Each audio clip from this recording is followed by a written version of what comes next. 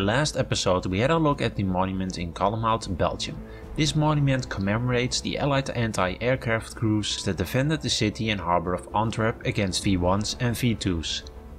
In this episode we're going to start off where we last were at Ossendrecht.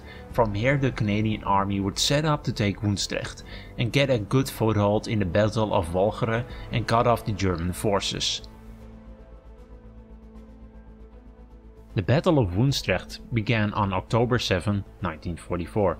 The Germans and the Canadians had the same amount of manpower, but the Canadians had more artillery and they had air support. But many of the Canadian soldiers were still inexperienced. The Germans on the other hand would mainly consist out of battle-hardened veterans, most out of the Battle of Normandy. This group would form a new unit called Kampfgruppen Schill. This unit would be the leftovers from three regiments. Next to this would be the 6th Fallschirmjäger Regiment. The Canadians would set up several artillery units on the Laagstraat in Ossendrecht. From here they could give the Canadian forces some support during their advance. This advance would set off from three points. The North Sax Regiment would cut off the roads between Huijbergen and Hoogerheide, the Calgary Highlanders and the Black Watch would go straight to the middle and take Hoogerheide and Woensdrecht. On the other side of town the Black Watch would cross over flooded grounds and try to take the railway line and the road to South Beveland. The advance stopped on October 11 until the 14th. Heavy fighting would break out at the island between Huijbergen and Hoogerheide when they ran into more German resistance from German Fallschirmjäger and Kampfgruppen Schill. On the other side of town, the Black Watch had to fight through muddy and flooded terrain and through Hoogerheide and Woensdrecht, completely destroying the town, fighting off ducking Germans and several German tanks like the StuG 3 that was knocked out on the Antwerpse Straatweg.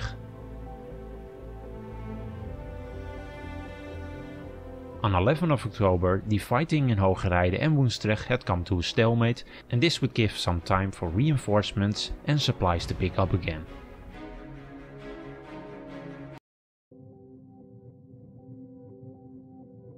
On October 13, the Black Watch would attack a raised railway position and had to cross 100 meters of muddy and flooded peat fields. The Canadians would be supported by artillery fire but because their attack was delayed for 30 minutes the Germans already had regrouped. The artillery barrage had done no damage to the German defenses and if the Black Watch would have been on time the Germans would have been depressed by the artillery barrage. They were now stuck in a desperate World War I type scenario and they would suffer 145 casualties and 56 dead, among them all 4 company commanders, and one company of 90 men would only have 4 survivors and the Germans would only lose 1 man in total.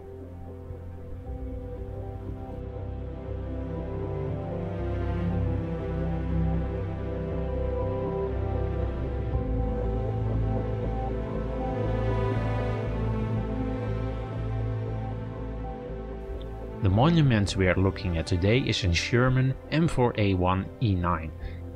The Sherman here in Hoogerheide is one of the Shermans that was used in the Dutch army after the war and was not used in the Canadian military and wasn't knocked out in the battle as the sign next to the tank wants you to think it did. It's a post-war Sherman that was recovered from the Woensdrechtse Heide and it was used as a range target, so that's why it has so many battle scars. It was restored in the 1970s and placed here as a monument in 1978.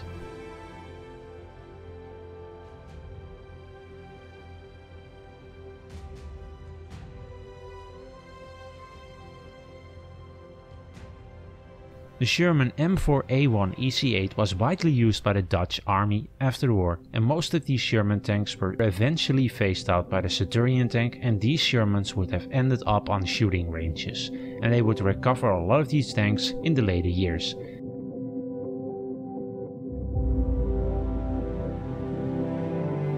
The E9 was basically a Sherman with a Wynant suspension and the E8 and E9 indication has nothing to do with the gun as many people seem to think and it's the name for the suspension system.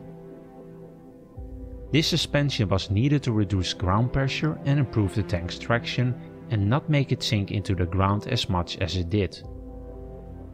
The solution to this problem was the development of the E8 or EC8 or horizontal volute spring suspension or HVSS and so basically the E8 was the prototype name.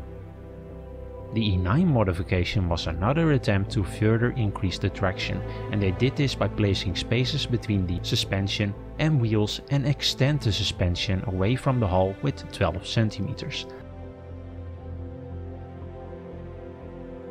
The Sherman here in Hoogerheide is pretty well maintained and so is the surrounding area.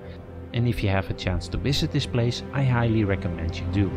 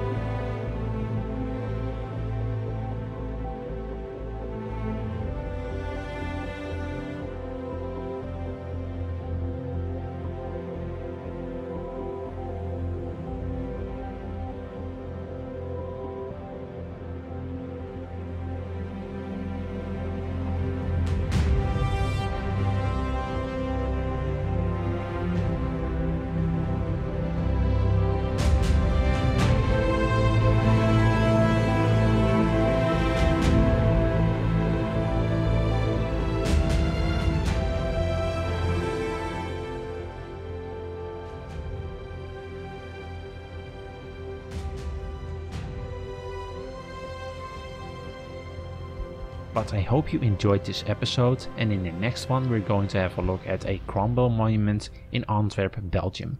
So see you in the next video and have an awesome weekend.